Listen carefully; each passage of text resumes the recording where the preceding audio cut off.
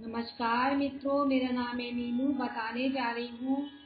चंद्र घंटा माता आज विराजित हो गई है घरों में, फ्लैटों में, मकानों में। आज उनका तीसरा दिन है, चंद्र घंटा माता है। और उनका जो मंत्र है, जो बताने जा रही हूँ, वो बहुत ही प्रभावशाली है।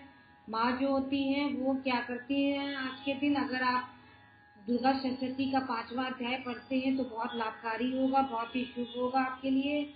मित्रों, और नवरात्रि में ये माँ का तीसरा स्वरूप है।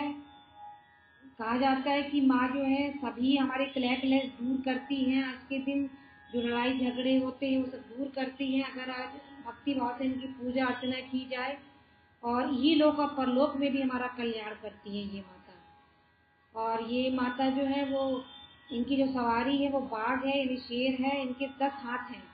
इनके दसों हाथों में कमल, धनुष, बाण कमंडल तलवार, त्रिशूल और गदा जैसे अस्त्र हैं। इनके कंठ में श्वेत पुष्प की माला और रत्न जड़ित मुकुट शीर्ष पर विराजमान है।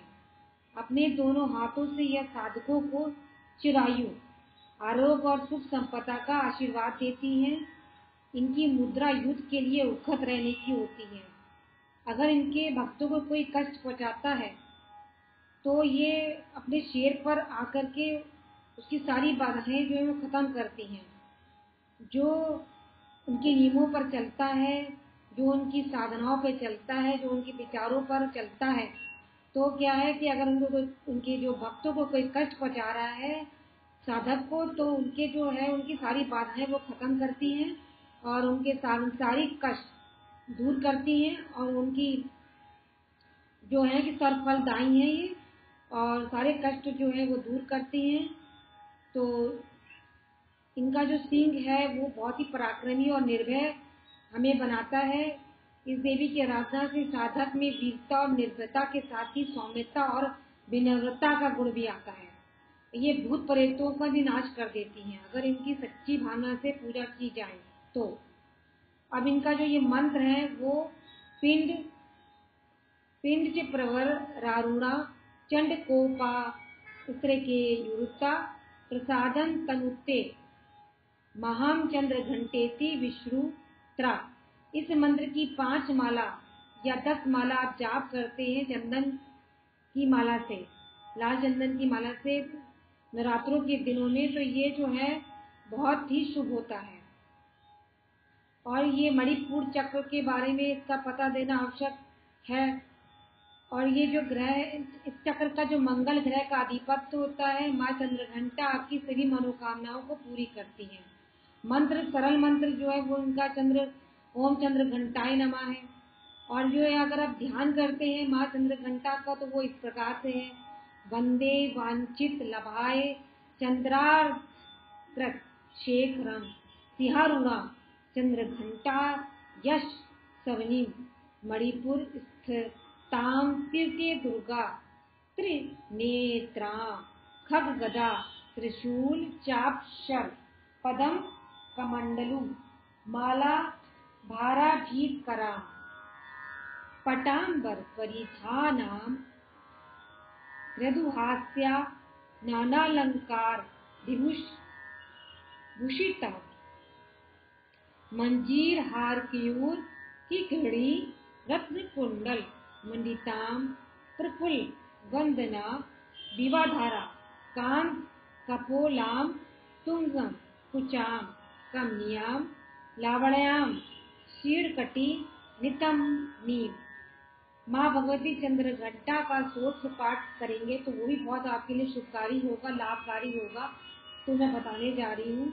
आप दुधारणी तवही आघा शक्तिया, शुपराम, अड़िमादि, सिद्धिदात्री चंद्र घंटा पढ़ मायाम चंद्रमुखी इष्ट धात्री इष्टम मंत्र स्वरूपणी धन दात्री आनंद धात्री चंद्र घंटे पड़मा, भयम नाना रूप धारणी इच्छा नहीं ऐश्वर्य दायनी सौभाग्य रोग दायिनी चंद्र घंट पड़ा मयम माँ भगवती चंद्र घंटा का कवच मंत्र। अगर अब इसको भी पढ़ते हैं तो आपको चारों तरफ़ से माँ रक्षा करती हैं और जो आपके शत्रु हैं, जो आपको बाधा देते हैं, कष्ट देते हैं आपको तो उनसे आपको चारों तरफ़ से रक्षा करती है माता। रहस्यम शिणु वक्ष्यामी शवेरी कमलानने श्रीचंद्र घंटास्य कवचम सब सिद्धिदायकम बिना न्यासम बिना विनियोगम बिना शापोदा बिना होमम स्नानम त्वचादि नास्ति, श्रद्धा मात्रेण। सिद्धिदाम कुश्याम कुतलाय, वंचकाय नितकाय च न। दातव्यम न दातव्यम न दातव्यम कदाचितम। तो ये मंत्रों का आप जाप करें, कवच मंत्र मैंने दिया है सोच पाठ दिया है चंद्रघंटा माता का, मैंने चंद्रघंटा माता का ध्यान दिया है, मंत्र भी दिया है आपको।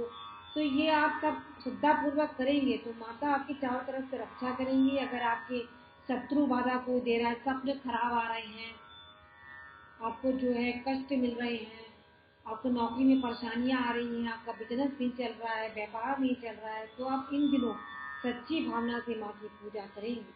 तो दोनों हाथों से आपको माँ अपना आशीर्वाद देंगी। धन्यवाद मित्रों, मेरे चैनल को सब्सक्राइब ज़रूर करें।